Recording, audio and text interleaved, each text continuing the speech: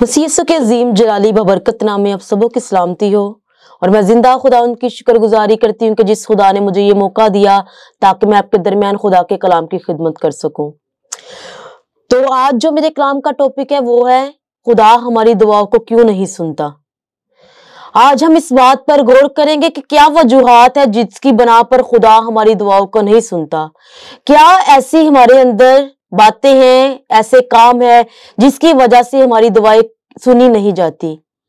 आज हम इन पर गौर करेंगे और अपनी जिंदगियों में से उन बातों को, उन कामों को तर्क करेंगे, जिसकी वजह से हमारी दुआएँ अभी तक रुकी हुई हैं। जिसकी वजह से अभी तक हमें हमारी दुआ का जवाब नहीं मिल रहा। क्यों नहीं मिल रहा? आज इस बात पर हम गौर करेंगे और आज इन बातों को अपनी ज़िंदगी से तर्क करते हुए इस साल में खुदा से बरकतों को हासिल करेंगे, जो काम अभी तक हमारे रुके हुए हैं, जिसकी वजह से अभी तक हम बरकतों को हासिल नहीं कर रहे। वो कौन सी बातें कौन से काम है जिसकी वजह से अभी तक हमारी बरकतें रुकी हुई हैं, जिसकी वजह से अभी तक खुदा अपने स्मान को हमारे लिए नहीं खोल रहा। तो आइए हम कलाम मुकद्दस की तरफ़ गौर करेंगे और अपने ध्यान को खुदावंत के कलाम की तरफ़ लगाएँगे और खुदावंत के कलाम में से सीखेंगे जो आज मेरे और आपके लिए नसीहत का कलाम है, तरक्की का, सरफराजी का कलाम है। तो मेरे साथ निकालिए यकूब का खत, उसका पहला बाप उसकी छठी आयत से मैं तलावत करूँगी, मगर ईमान से मांगे और कुछ शक ना करे, क्योंकि शक करने वाला समंदर की लहर की मानिद होता है, जो हवा से बहती और उछलती है। ऐसा आदमी ये ना समझे कि मुझे खुदावन से कुछ मिलेगा। वो शख्स दो दिला है और अपनी सब बातों में बेक्याम। खुदावन के पाकलाम का पढ़ा सुना जाना हम सबों के लिए बाइस से बरकत का कलाम हो। जैसा कि मेरे अजीजों, आपके सामने इस आयत की तलावत की गई। यहाँ पर हमें मिलता है, मगर मान से मांगे और कुछ शक ना करें। यहाँ पर ये है, यहाँ पर ईमान की बात की जा रही है। जब हम दुआ करते हैं, जब हम खुदा से मांगते हैं तो हमें ईमान रखने की ज़रूरत है। जब ईमान नहीं रखते, जब हम शक करते हैं तो शक करने वाला जो शख्स है, वो समंदर की लहरों की मानिद होता है। अगर हम समंदर के पानी को देखें, समंदर की लहरें जो आती हैं, वो आती और पानी के साथ उसी वक्त बह जाती है। इसी तरह हमारी ईमान है, जब ईमान कमज़ोर होगा, जब ईमान हमारा डावाडोल होगा तो उसके सबब से खुदा हमारी दुआओं को नहीं सुनता। क्योंकि जो ईमान के सबब से दुआ की जाती है। जब ईमान के सबब से दुआ करते हैं, ईमान की हालत में दुआ करते हैं तो फिर हम अपने इस्मानी बाप से जो भी मांगते हैं वो हमें देता है। मगर जब शक करते हैं, जब बेतकादी होती है तो बेतकादी के सबब से खुदा हमारी दुआओं का जवाब हमें नहीं देता। क्यों नहीं देता? क्योंकि हम शक करते हैं। शक जो है, वो खुदा को पसंद नहीं है। खुदा ये चाहता है कि जब भी हम दुआ करें, हम जो भी खुदा से मांगे, ईमान से मांगे। जब ईमान से दुआ की जाती है तो ईमान के सबब से खुदा हमारी जिंदगियों में काम करता है। ईमान के सबब से खुदा बेशुमार मोजे करता है। आज हमारी दवाएँ जो नहीं सुनी जाती, सबसे पहले हमारे अंदर ईमान की कमी है। हमें अपने ईमान को मज़बूत करने की ज़रूरत है। हमें अपने ईमान को ऐसा स्ट्रॉन्ग करने की ज़रूरत है कि हम जब भी दुआ करें, खुदा हमारी दुआओं का हमें जवाब दे। और जब भी दुआ करें इस बात के लिए दुआ करें कि खुदा अगर मेरी ज़िंदगी में शक की जरा भी गुंजाइश है तो उस शक को मेरी ज़िंदगी से क्या कर? दूर कर, ताकि मेरी दुआ तेरी हजूरी में बखूर की मानंद पहुँचे। क्योंकि जो दुआएँ ईमान के साथ की जाती हैं, उन दुआओं का जवाब भी फिर खुदा हमें ज़रूर देता है।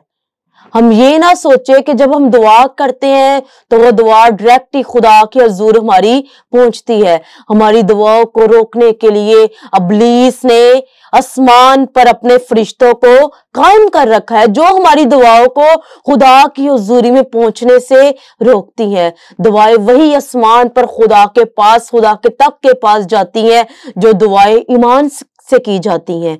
जिन दुआओं में ईमान होता है, जिन दुआओं में शक नहीं होता, फिर खुदा ऐसे लोगों की दुआओं को सुनता और उनकी दुआओं का जवाब देता है। इसमें जो पहला पॉइंट है, वो ये है कि हमने अपनी बेतकादी को, हमने अपने शक को क्या करना है? दूर करना है। क्योंकि शक करने वाला जो शख्स है या बहन है या भाई है, वो समंदर की लहरों की मानिद है।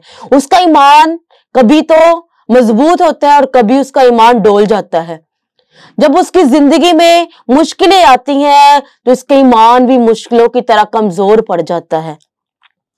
हमारा ईमान ऐसा होना चाहिए, जितनी मर्ज़ी मुश्किलें आए, जितनी मर्ज़ी बीमारियाँ ज़िंदगी में आ जाए, हमारा ईमान हमेशा अटल रहने वाला हो, हमारा ईमान मज़बूत रहने वाला हो। अगर मत्ती की अंजील में देखें तो वहाँ पर भी हमें दो ऐसे ममारों का ज़िक्र मिलता है कि एक ने अपना घर चट्टान पर बनाया और एक ने अपना घर रेत पर बनाया।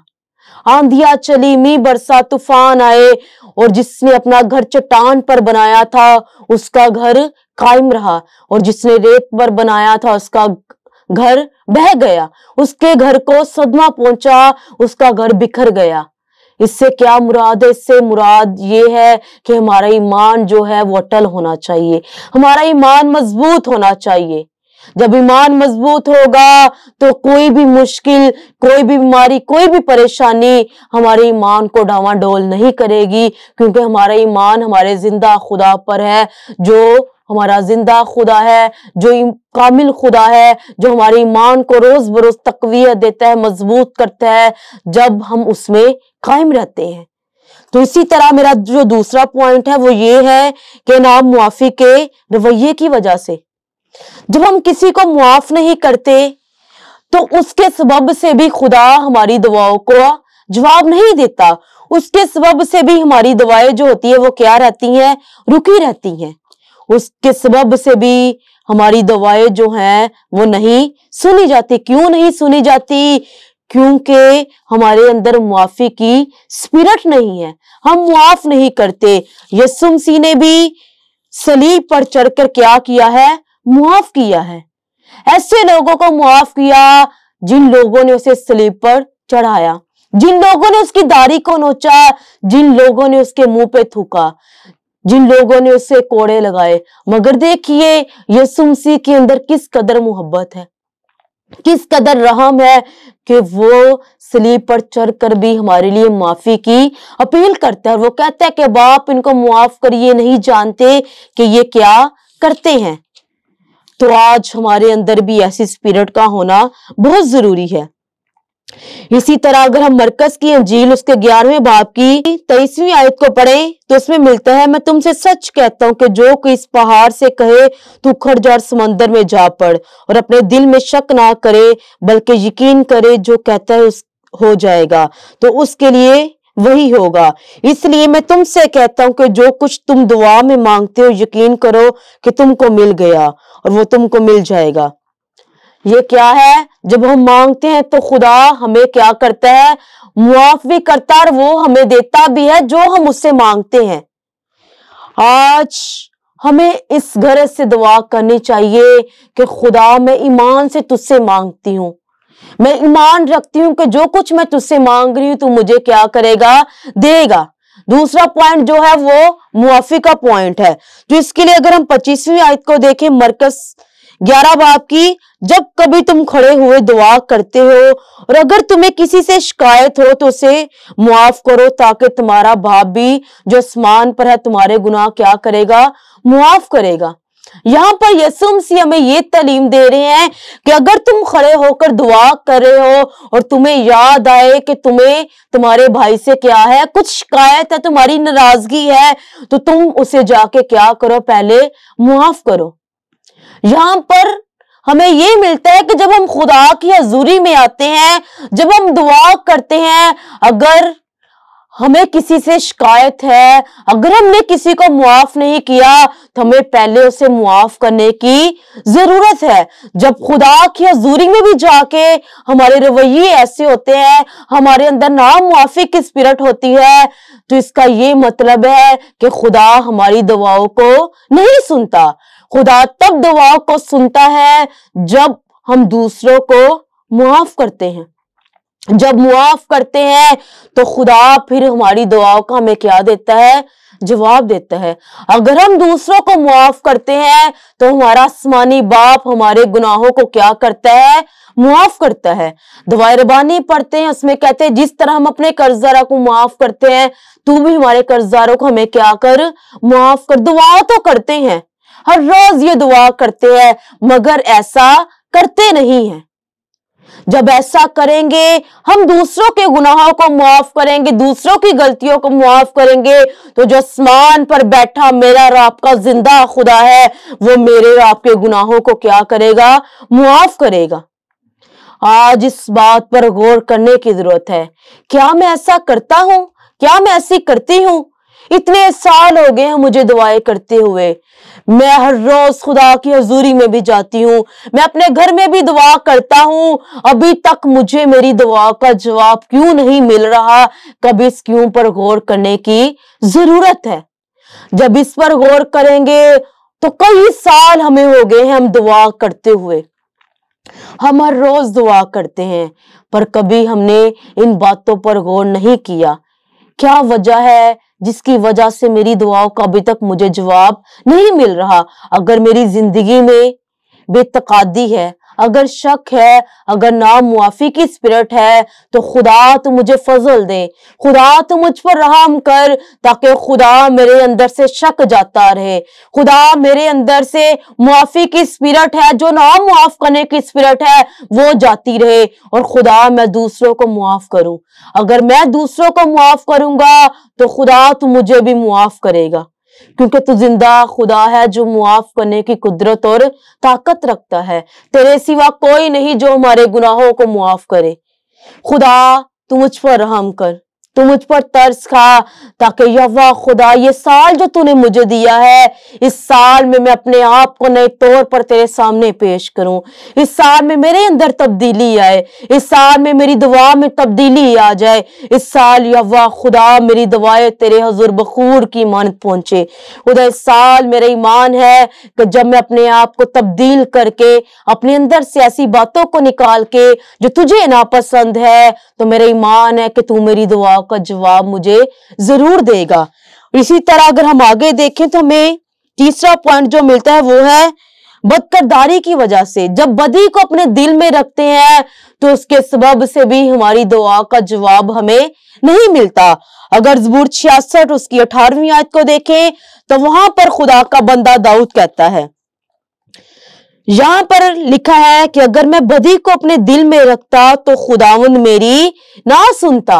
यहाँ पर खुदा का बंदा दाऊद कहता है कि अगर मैं अपने दिल में गुनाह को रखूँ, अगर मैं अपने दिल में बदी को रखूँ, अगर मैं अपने दिल में दूसरों के लिए अदावत रखूँ, अगर हसद रखूँ, अगर मेरे अंदर ये सारी चीज़ें होंगी तो खुदा मेरी दुआ को नहीं सुनेगा। उसने कहा कि अगर मैं बदी को अपने दिल में रखता तो खुदा मेरी ना सुनता। इसका मतलब है कि दाऊद खुद कह रहा है कि अगर मेरे अंदर बदी होती, अगर मेरे अंदर गुनाह होता तो खुदा कभी भी मेरी दुआओं को ना सुनता। आज हमें ज़रूरत है कि हम अपने दिलों से बदी को निकाले।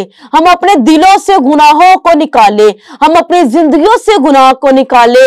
हम अपने अंदर से हर तरह की बात को निकाले जिसके सबब से खुदा हमारी दुआओं को नहीं सुनता। हमें अपनी ज़िंदगी से शेखी को निकालने की ज़रूरत है। अपने अंदर से तकबर को निकालने की ज़रूरत है। घुमंड को निकालने की ज़रूरत है। अपने आप को बदलने की ज़रूरत है क्योंकि खुदा के कलाम लिखा कि खुदा मगरूरों की दुआओं को नहीं सुनता। खुदा ऐसे लोगों की दुआ को सुनता है, जिनकी जिंदगियाँ पाक हो, जिनकी जिंदगियों में ये सुमसी हो, जिनकी जिंदगियाँ पाक हो, जिनके अंदर बदी ना हो, जिनके अंदर गुनाह ना हो तो मेरे अजीजों, तब खुदा हमारी दुआओं को सुनेगा, तब हमारी दुआओं का जवाब हमें मिलेगा। आज हमें इस बात पर गौर करने की ज़रूरत है। क्या वजह है? कि जिसके सबब से खुदा हमारी दुआओं कभी तक नहीं सुन रहा। अगर मेरी ज़िंदगी में शक है तो आज मुझे शक को निकालने की ज़रूरत है। आज इस साल में अपने आप को नए तौर पर खुदा के सामने पेश करने की ज़रूरत है। उन सारी बातों को निकाले अपनी ज़िंदगी से और सोचे, दुआ जब करते हैं तो खुदा से कहे कि खुदा मेरी ज़िंदगी में कोई ऐसी बात है जो अभी तक जिसको मैं समझ नहीं सका, जिसको मैं अपनी ज़िंदगी से निकाल नहीं सका तो उसको मेरी ज़िंदगी के ऊपर क्या कर, ज़ाहिर कर, ताकि खुदा मेरी दुआ तेरे हजूर मकबूल ठहरे। खुदा मेरी दुआ का तू मुझे जवाब दे। आज सोचने की ज़रूरत है। अगर हमारी ज़िंदगी में शक है, अगर नामुआफी की स्पिरिट है, अगर हमारे दिलों में बदी है, गुनाह है तो हमें अपनी जिंदगियों से इन्हें तरक करने की ज़रूरत है ताकि खुदा हमें बरकत दे, ताकि साल खुदा हमें नए तौर पर बरकतों से मालामाल करे। ये साल हमारे लिए, हमारे खानदानों के लिए बरकत का, तरक्की का, खुशहाली का सबब बने, ताकि साल हम खुदा की कुर्बत में, खुदा की नजदीकी में बढ़े और हमारे जो दुआया रबता है, हमारी जो दुआ है, वो खुदा के साथ, जो हमारे रिश्ते को करती है, बहाल। हम उस रिश्ते को बहाल करने वाले बने और हमारा रबता जो है, वो खुदा के साथ जुड़ जाए, क्योंकि दुआ का जो मतलब है, वो यही है कि खुदा से बातें करना। जब खुदा से बातें करेंगे, इन बातों को, इन कामों को अपनी ज़िंदगी से निकाल के तो मेरा रब ज़िंदा खुदा में बरकत देगा। सो खुदावंद, इस कलाम के वसला से आपको और मुझे बरकत दे। आमीन। मैं आपके दुआ करूँगी ताकि खुदा इस कलाम के वसला से आपको और मुझे बरकत दे। अगर आपकी ज़िंदगी में कोई ऐसी बात है, बेतकादी है नामुआफी की स्पिरिट है, दिलों में बदी है या जिंदगियाँ गुनाह में है तो मैं आपके लिए दुआ करूँगी, खुदा हमारी जिंदगियों को बदले और खुदा इस कलाम के वसला से आपको बरकत दे। खुदा बाप, खुदा बेटे, खुदा ज़िंदा कुदूस तुझे था तू जो है तू जो आने वाला यवा खुदा, तेरी शुक्र गुजारी करती इस कलाम के लिए जो तूने आज कलाम दिया यवा खुदा, ताकि इस कलाम को मैं तेरे लोगों तक पहुँचाने वाली बनूं। इस कलाम के वसला से यवा खुदा, जितने बहन भाई इस कलाम को सुने, उनकी ज़िंदगी में तू मोजात करना। खुदा, उनकी ज़िंदगी नए तौर पर यवा खुदा, बन जाए। वो ज़िंदगी ऐसी ज़िंदगी हो जो दुआ करे, जिनकी दुआ में कोई शक ना हो। खुदा, जिनकी दुआ में यवा खुदा, मुआफी की स्पिरट हो, और जिनकी ज़िंदगी या वह खुदा, बदियों से, गुनाहों से पाक हो, ताकि वो जो भी दुआ करे, वो तेरी हजूरी मकबूल ठहरे तो अपने लोगों को बरकत देना। खुदा, इस तरह मैं तेरी हजूरी में दुआ करती हूँ, तेरी शुक्रगुजारी करती या वाह खुदा, नेशनल न्यूज़ चैनल के लिए, या वाह खुदा, जिन्होंने, या वाह खुदा, तेरी बंदी को बुलाया, खुदा, इसकी वजह बरकत देना। और खुदा, मैं भाई बाबर के लिए तेरी शुक्रगुजारी करती या वाह खुदा, जिन्होंने इन्वाइट किया, इस खुदा, अपने बंदा को तो और ज़्यादा बरकत दे, या वाह खुदा, इनकी या वाह खुदा, सारी खिदमत के लिए मैं तेरी शुक्रगुजारी गुजारी करती हूँ। खुदा बाप, तूने और बरकत दे, सरफराजी दे या खुदा। ये साल इनके लिए या खुदा, और ब्लेसिंग का साल हो खुदा। अपने बंदा के साथ हो, इनकी मदद कर, इनकी रहनुमाई कर, इनकी सारी मैनेजमेंट के लिए तेरी बरकत चाहती खुदा।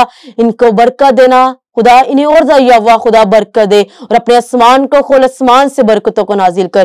खुदा, तक तेरे लोग तेरी खुदमत में इसी तरह बढ़ चढ़ कर हिस्सा लेते रहे, और तेरे नाम को जलाल देते रहे। यस्सु के नाम से मांगते हैं, आमीन।